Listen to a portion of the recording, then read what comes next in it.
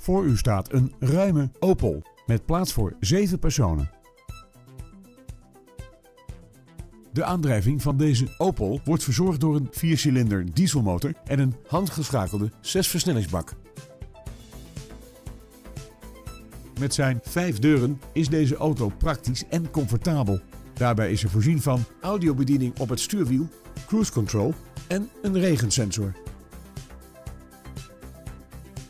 In deze Opel vinden we actieve hoofdsteunen en automatische dimlichten als veiligheidsverhogende extra's. Hebben we u nieuwsgierig gemaakt? Bel ons nu voor een proefrit.